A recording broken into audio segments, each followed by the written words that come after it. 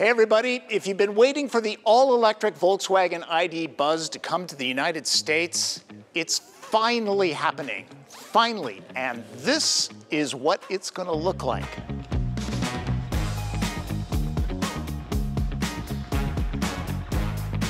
I'm Tom Voelk in a studio in Los Angeles, California for a sneak peek at the Volkswagen ID Buzz.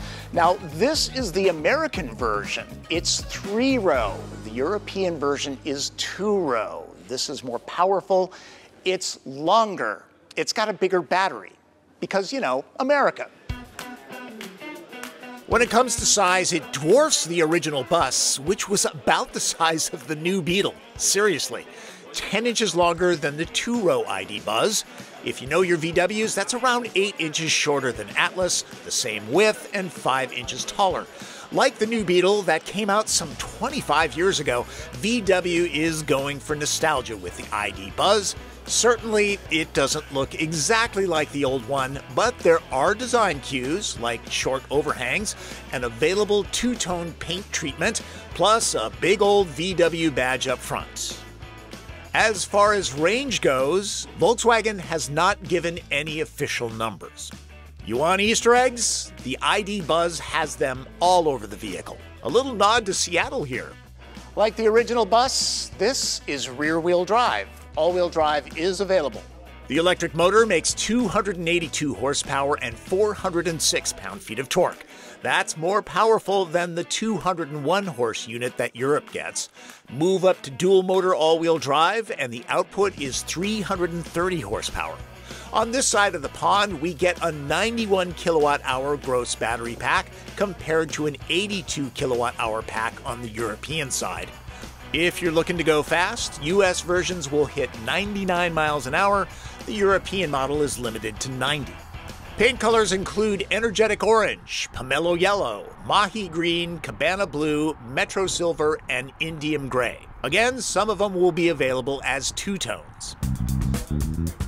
Moving inside, it's very spacious, as minivans are. Remember, vans are awesome, and this one is even more so. It seats either six or seven, the battery pack provides a low center of gravity, and yet you sit high in the ID Buzz. That's what everybody wants these days. The cabin will be available in three color choices. Fancy ambient lighting is standard, choose between 30 colors. Want more room? The center console is removable.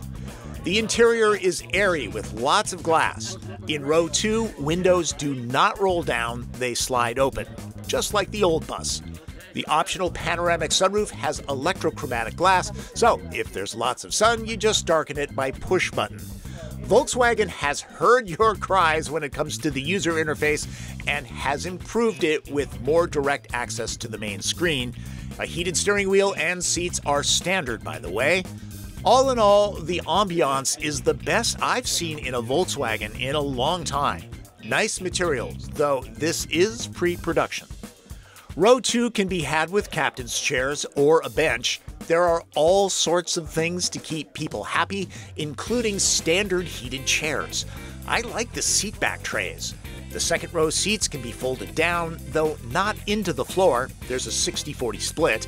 The bench can be moved fore and aft some 8 inches. The third row is actually usable for adults. There's plenty of room. You're how tall? Six foot four. Wow. Really quickly, the third row is incredibly spacious. I'm five foot nine, and I have no issues at all. Plenty of headroom, plenty of knee room, plenty of leg room. This is going to be great for the family. Gotta love the booties. As far as features and little cubbies and phone charging ability, the Buzz does pretty well. A kick to open tailgate is standard, uh, something that folks in the 60s never even dreamed of. Behind the third row, there's a good amount of cargo room. The second and third rows fold flat. Row three can be removed. This is a lot of space to fill up, folks. ID Buzz is going to be very useful. Oh, you know what I just realized? There's a handle here. Yes, it's a piece of luggage. So you can literally You carry just drive it out and then take An optional adapter with a couple storage bins makes for a flat floor with the seats dropped. And if that makes you think about camping, I can say for certain my wife would buy one in a heartbeat, so Volkswagen, that's one sale. So you've been waiting all this time. When is it going to hit the US? Well, Volkswagen is being a little cagey. They say sometime in 2024. Uh, that could be December, so it could be a year and a half from now. I'm going to guess the summer of 2024. And unfortunately, I don't have any pricing for you. There you go. That's everything I know about the Volkswagen ID Buzz. Remember, subscribe to this channel, click notifications, follow me on social media, and if you have a question, leave it in the comments. I'll try to get to it. That's Driven. I'm Tom Voelk.